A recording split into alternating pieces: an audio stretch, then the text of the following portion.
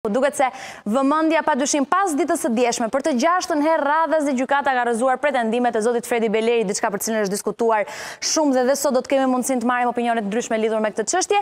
Sot është një ditë e rëndësishme, vjen një takim tjetër i radhës mes zotit Gazment Bardhi, grupimit të tij dhe Berishës, këtë herë të zhvendosur nga Tirana në Kukës, ne do të kemi lidhje direkte nga Kukësi për të kuptuar edhe se Cilët janë deputetët të cilët këtë herë kanë vendosur të jenë prezent në këtë takim të radhës? A janë ende ato mungesa që kanë qenë gjithmonë? Detajet për këtë nga Kukësi do na japi Ardit Hoxha në vijim, por fillimisht ne do të shkojmë në një lidhje direkte me Eksiola Shehun, të cilën e shoh të pozicionuar në Komisionin Qendror të Zgjedhjeve, në mos gaboj Eksiola do na shpjegosh pak se si do të bëhet identifikimi në zgjedhjet e pjesshme po po e quaj kështu ato të Kukësit. Mirdita Sidorela, pesë ditë përpara se qytetarët e Kukësit t'i drejtohen kutive të votimit, për të zgjedhur kryetarin e ri të bashkisë. Komisioni Qendror i Zgjedhjeve në ambientet e saj ku dhe unë ndodhem aktualisht për të zhvilluar këtë komunikim të drejtpërdrejtë ka bërë të mundur testimin e pajisjeve të identifikimit biometrik. Do të jenë më shumë se dyzet e pesë mijë qytetarë të Kukësit ata të cilët kanë të drejtën për t'u drejtuar shtatëdhjetë e katër qendrave të votimit dhe respektivisht shtatëdhjetë e katër pajisjet e identifikimit biometrik për qytetarët. Pajisjet në fakt është tre përqind e testimit të tyre dhe gjithçka ka kaluar pak minuta më parë me sukses. Megjithatë do doja që në këtë lidhje dhe komunikim të drejtpërdrejtë të bënim një testim të vogël sa i takon pikërisht kësaj pajisje. Do doja theksoja se me kartën time të identifikimit do tentojmë që të identifikohemi në Kukës. Do doja theksoja për opinionin publik se unë jam banuese në Tiranë dhe nuk jam banuese dhe as votuese në qytetin e Kukësit. se dhe si e tillë do duhet që karta e identitetit të mos më njihet pra pikërisht në këtë pajisje duke qenë se unë nuk jam pjesë nuk jam pjesë e listës së zgjedhësve në qytetin e Kukësit. Okej, okay, Regjana, ndihmoni pak. Po. Pikërisht do të jenë qytetarët ditën e votimit që do t'u drejtohen kutive të votimit dhe është kjo pajisja, pikërisht është ky momenti i cili vendoset pikërisht karta e identitetit. Sa herë duhet ta kalosh Eksiola apo më njëherë mjafton?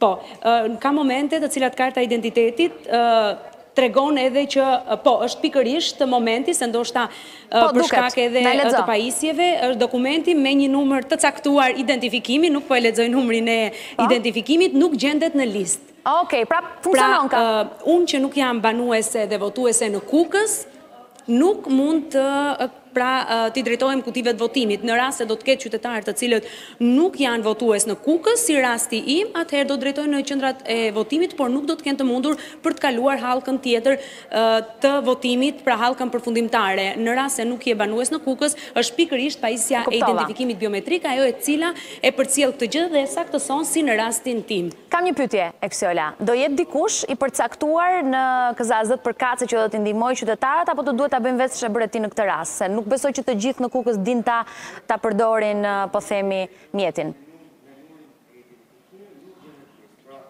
Do të jenë anëtarë të cilët janë të vendosura në qendrat e votimit, janë shtatëdhjetë e katër qendra votimi në të gjithë bashkinë e Kukësit, ata të cilët do t'ju vijnë në ndihmë padyshim qytetarëve, të cilët jo vetëm në zonat urbane, pra në Bashkinë e Kukësit, por edhe në zonat rurale për të ndihmuar dhe për të patur më të thjeshtë dhe për të mbaruar sa më shpejt punë sa i takon procesit të votimit. Ka patur dhe raste të tjera kur qytetarë të ndryshëm kanë shkuar në një qendër votimi, por emri i tyre nuk ka rezultuar në atë qendër votimi e në këto kushte janë drejtuar nga ana e qendrave të votimit dhe anëtarëve të saj në një qendër tjetër respektive ku emri i tyre ndodhet.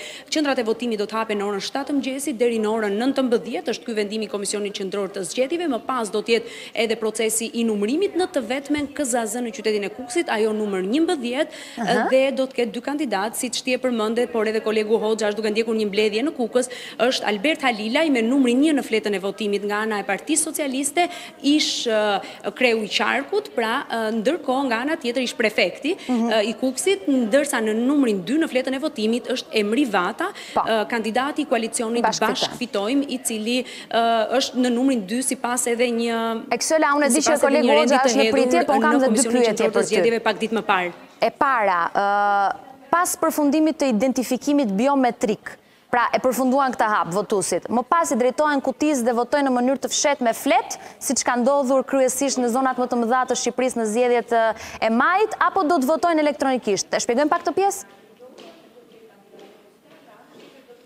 Po, shumë e rëndësishme në fakt Sidorela dhe vlen në këtë pikë përpara 5 ditëve se të mbahen zgjedhjet në Kukës.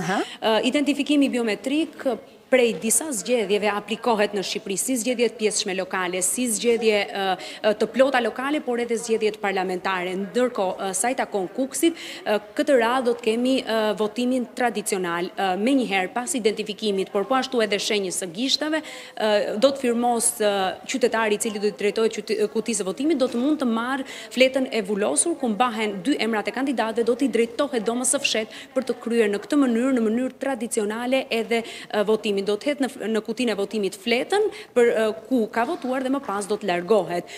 Kemi parë në disa zgjedhje një pilotim të votimit elektronik, si në Kamëz, në Vorë apo në Elbasan, por Komisioni Qendror i Zgjedhjeve ka vlerësuar se në këto zgjedhje në Kukës të zhvillohet në mënyrë tradicionale. Tani, një pikë tjetër për të cilën kam përshtypjen ditë më parë e ka raportuar Arditi, po dua të të pyes ty, lidhur me komisionerët, ku dy, në mos gaboj, do të jenë të Partisë Demokratike zyrtare, më më korrigjo nëse gabohem. Për çfarë i duhen dy komisionerë Lulzim Bashës, po e konsideroj kështu, kur nuk ka asnjë kandidat?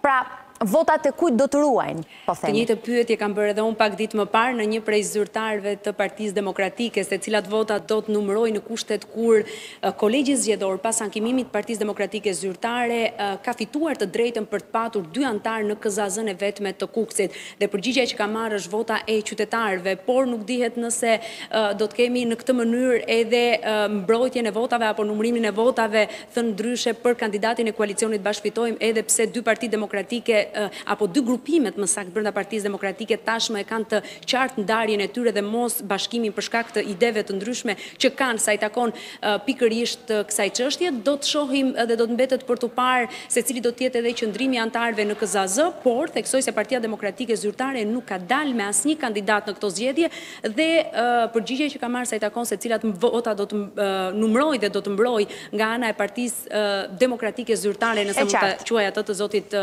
Lulzim Basha, ka qenë se do të mbrojnë votat e qytetarëve. Të falenderoj shumë, Eksiola, për gjithë sqarimin.